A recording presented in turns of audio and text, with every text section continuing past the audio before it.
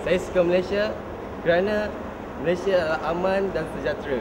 Saya sayang Malaysia. Yeah.